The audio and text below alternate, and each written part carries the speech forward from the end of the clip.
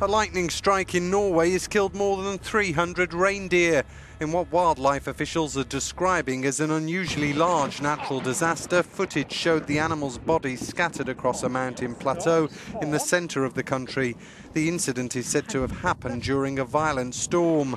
Norway's Environment Agency says reindeer usually huddle together during bad weather, which could explain why so many were killed.